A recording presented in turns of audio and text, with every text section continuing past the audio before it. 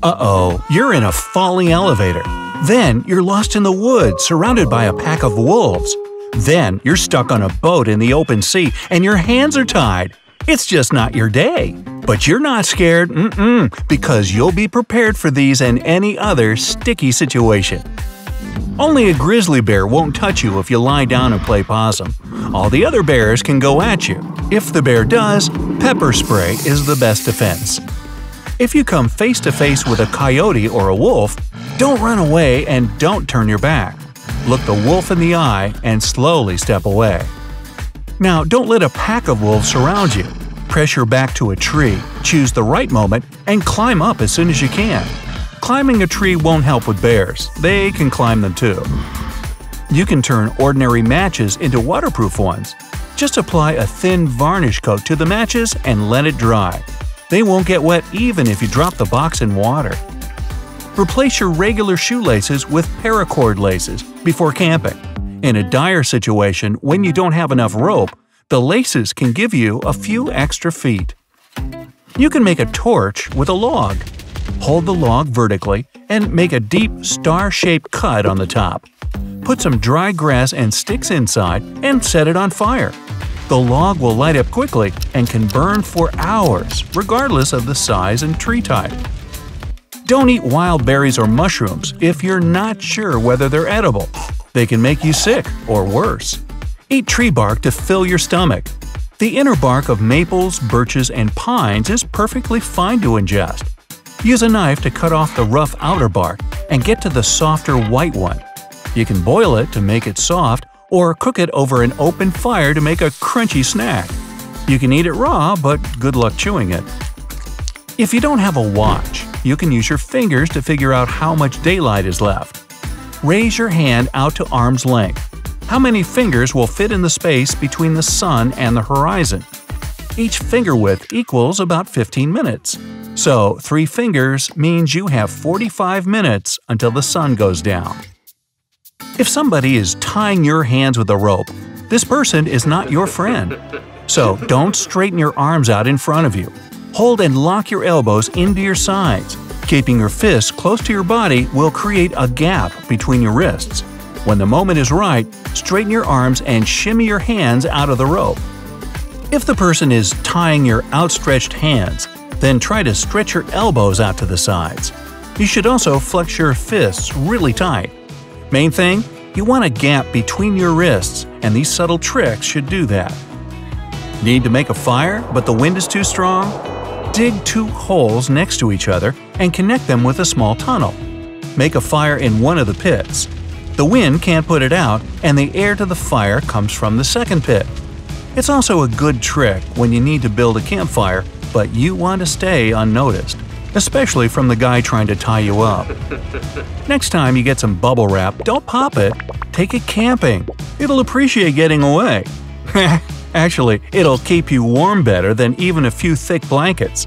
These small air bubbles create insulation that traps your body heat. It's also waterproof. But if you get lost in the woods and left your bubble wrap at home, grab as many dry leaves and grass as possible and put them between two layers of clothing. It'll keep you warm for a long time. On that note, putting on several thin layers of clothing is much more effective than wearing one big coat.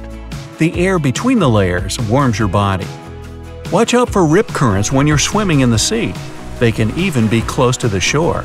They'll carry you out further and further away if you don't know how to break free from them. To do that, don't try to swim against the current, swim parallel to the shore. Sooner or later, you'll get out and will be able to swim safely toward the shore. So, you're back in the city, and if you're stuck in a falling elevator, don't try to jump right before the crash. You won't even be able to time it right. And don't squat or sit. You need to lie on the floor, spread your legs as wide as possible, cover your face with one arm, and put the other hand behind your head for protection. You'll reduce the pressure on your body in such position when you fall. Back to camping, and it's still not going well. You're lost and haven't managed to create a fire signal for rescuers, but they're flying above looking for you. To get their attention without smoke, use a small mirror. Hold it at such an angle that it reflects sunlight towards the helicopter. This glare is noticeable even from a big distance. Your glass phone screen can work the same way. Well, it hasn't rained for a long time, and there are no ponds, rivers, or lakes nearby. You're thirsty. You can still get drinkable water from the trees. Wrap a leafy branch in a plastic bag and leave it for a few hours. Trees sweat and condensation will gather in the baggie. Don't eat snow if you're thirsty. It's mostly air instead of water. Your body will spend more energy trying to eat as much snow as possible, yet you won't quench your thirst. It'll also use up precious heat to warm the snow up. Better to melt it first, then drink up. Always try to sleep higher if you get lost in the wild. You can stretch a fabric hammock between the trees or put logs and leafy branches on the ground and then lie down on it.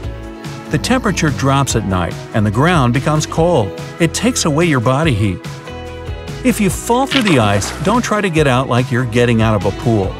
If you put your hands on the ice and try to pull yourself out, the icy edge holding you up will probably just break under the pressure. You need to hold onto the ice and try to come out as horizontally as you can.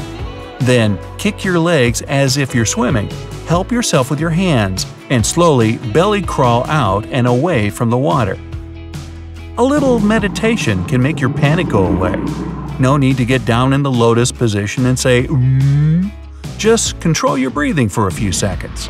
Focusing on your breathing redirects your attention from the tense situation at hand to inside your body. The panic goes away, and your thinking gets sharper. If you're in the desert now, try to move as little as possible during the day. Find shade or create it from improvised materials. Sit in the shade until dark at night, you'll use less energy when moving, and you'll avoid the scorching sun. If you have no water in the desert but have food, don't rush to eat. The more you eat, the thirstier you get, since the body uses its hydration to digest food. A person can go much longer without food than water, so don't be afraid to go a little hungry. If you find yourself in a boat in the middle of the sea without food, your vessel can help you fish. The shadow of the boat attracts them. You can use anything for bait your phone, assuming it's lost all its juice, your watch, keys, and as a fishing line, you can use shoelaces. Tie the bait and drop it in the water. Even if the fish don't bite, this will help you get rid of boredom and panic. Hey, hopefully you'll never need these tips, but now you'll have them just in case. And you won't be the unhappy camper.